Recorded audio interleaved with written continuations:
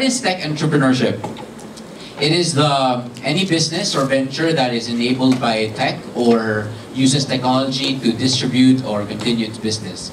This is something like Facebook, Instagram, Amazon, AyosDito, and you know the apps that you use every day.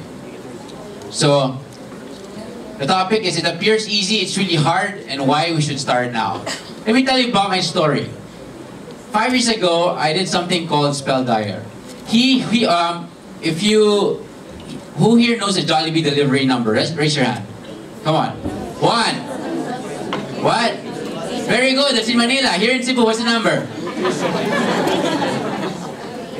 Uh, okay, maybe one or two. How about the McDonald's delivery number? One. Very good. The rest don't know. Yet you see these billboards everywhere. You see them in television. You see them flyers. You see all these things. And yet you don't remember the most important information in those ads. You spent millions on those things. And yet you don't remember? Why? Simple. It's because we as humans are not wired to remember numbers. We're wired to remember people and organizations by their names. Right? Yes, yes, I don't remember. Well, so, so we made SpellDial. Spell Dial is an application that lets you dial names instead of numbers. That's all we did. And, so it looks like that. This was about five years ago.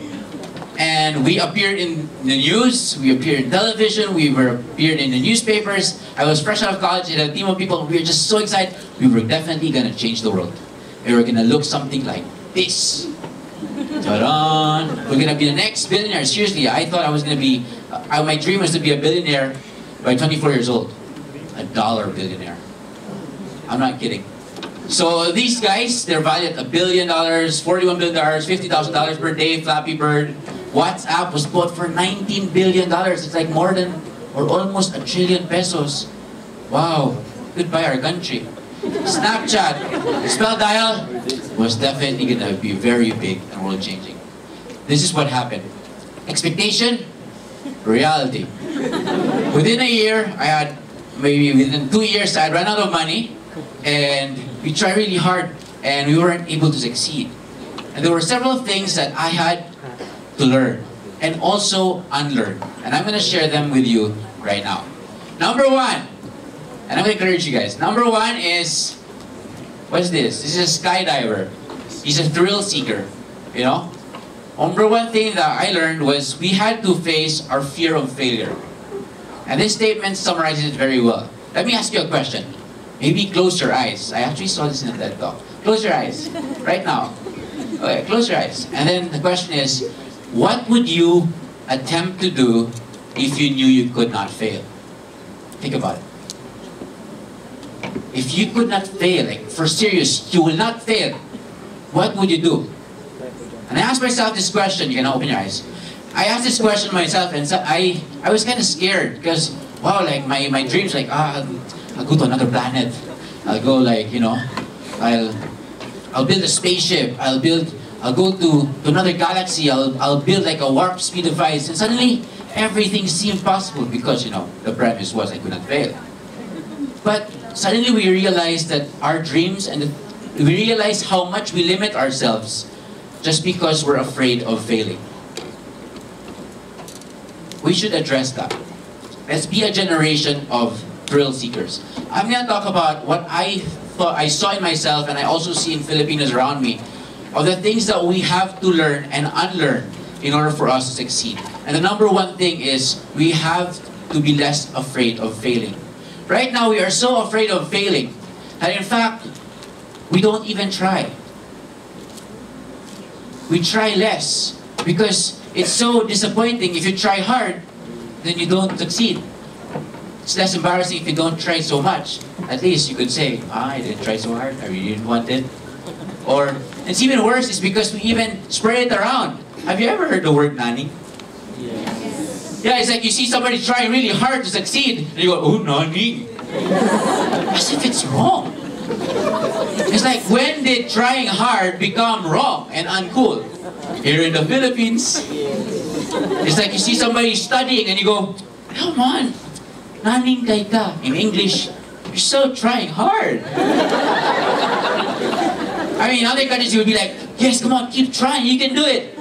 In the Philippines, what? Chill, man. Chill, I'm good. I mean, it's funny, but it's weird, isn't it? It's like, it's like being ambitious is now becoming ambitioso, which has a very negative connotation here when it's supposed to be very good. It's like, try hard. Be naning. Hmm. The truth of the matter is, we have to try hard because if you don't try hard, you're definitely gonna fail. People try hard and yet fail, and that is okay. We've stopped asking the question, what do you want to achieve? If you know what you want to achieve, work hard at it and be willing to fail along the way because it, you will fail along the way. And it's okay, it doesn't matter because you will get to where you need to be. And the failures are the stepping stones, not the blocks and the hindrances that will forever haunt you. We're so afraid of failing. We have to unlearn that. Let's be a generation of thrill seekers, the nani generation. Second thing I learned is, I, I learned this because I talked to a friend who came over from the US and he told me like, you know what Albert, in the States, or at least some parts of the States, the way they teach and the way they educate people is so different from the Philippines. Like, really? Like, yeah, in engineering, it's so different. Like, we're, really? Why? And he told me this and I was like, what? For example, in the Philippines, this is what happens. Imagine you go to class and the professor walks in and he brings in, what's this? A Rubik's Cube. Very good. He brings in the Rubik's Cube and he says, Alright class, this is a Rubik's Cube. The objective of this is to get the cube into like all colors of the same color on the same side by twisting and turning it. Alright, that's the objective. Understand? Yes. Very good, students. So then, these are the steps. Take notes. This is the before. The first thing you do is that, and then that, and then that, then that, not yet that. And then that. Why are you not taking notes? Take notes. And then that, and then that. Alright, then you have the cross at the top. It should be green. And then, okay, then you have one side. Very good. And you have like a semi little T there. Like Ted, you know? Alright. And then you invert the T so it's not Ted anymore, but, you know, use imagination. And then you turn, turn, turn, turn, turn, turn, turn, turn. What's so funny? Wanna go out? Alright. And then when you do that, finally you have the X in the TED X over there. And then! Did you take notes? Yes. Alright, take notes, okay? Study your notes. Tomorrow we'll hand up an exam and you will have to answer the steps on how to solve Rubik's Cube. That's exactly how we learn in the Philippines. That's how we learn engineering. That's almost how we learn everything. I look at my sister and she studies um, nursing and she memorizes everything. She like highlights everything, everything in the book. I was Why are you highlighting everything? Like, because I have to remember this. I was like, but that's everything. Yeah, that's what I have to remember, everything. But this is true. Uh, guilty other people here, which is great, you know? She was nanny. I love my sister. In the States, the professor in the, in the US or in other parts of the world, the professor walks in with a Rubik's Cube into the class and he says, Ladies and gentlemen, this is a Rubik's Cube. What is it? Rubik's Cube. Very good. You listen well. Now, the objective of this cube is to get it from any part, uh, from its current state, to a state where all the colors that are the same are on the same side. Understand? Yes. Alright.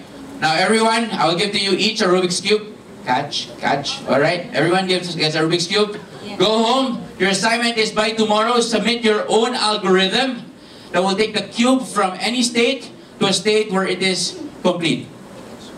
Dismissed. And the Filipinos go, what? Where's the part where you teach us? I know the Filipinos' brain like, That's not education. So now buy the tuition. In English, what I pay my tuition for? The teacher don't teach.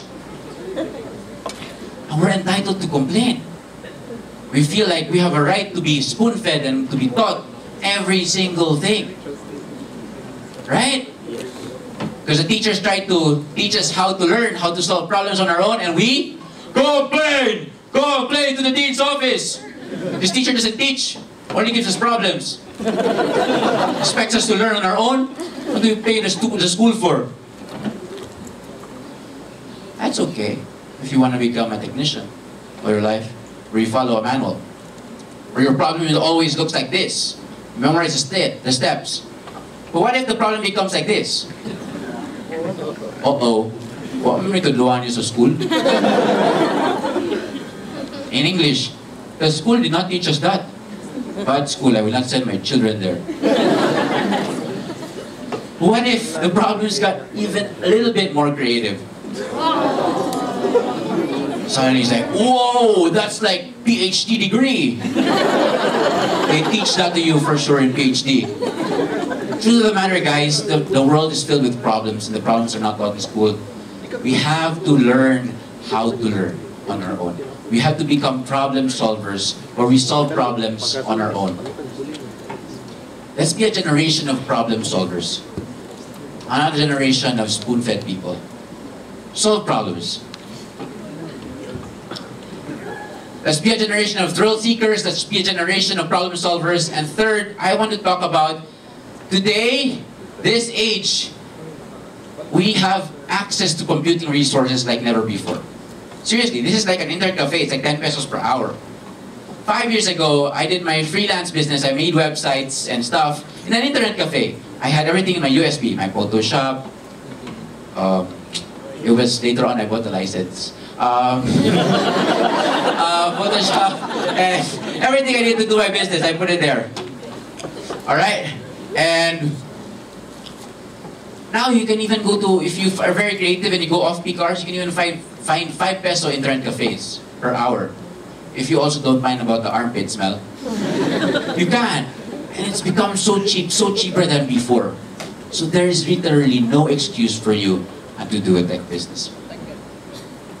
Let's be a generation of thrill seekers, problem solvers, and now that we have access to computer resources, I think we have a chance at this. It's not gonna be easy, it's not gonna be in a year or two or three or four maybe, but we have a chance. A chance like never before.